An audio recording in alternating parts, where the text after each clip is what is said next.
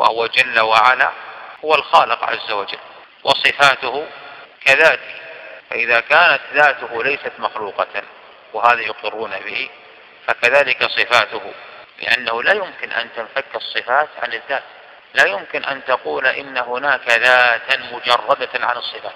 أتحدى أن يأتي شخص ويقول إن هناك شيئا هو ذات ليس له صفة كل شيء له صفة بما أنه موجود فله صفة.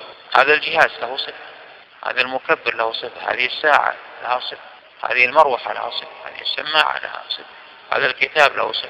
ولذا ذكر شيخ الإسلام رحمه الله قاعدة في العقيدة الواسطية في من ينكر الصفات يقول القول في الصفات كالقول في الذات. أنتم تقولون إن الذات موجودة فكذلك أثبتوا الصفات. وإلا وقعتم في التناقض.